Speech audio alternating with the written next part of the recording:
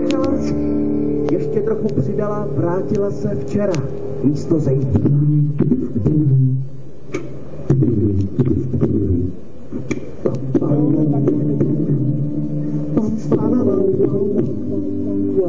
Thank you.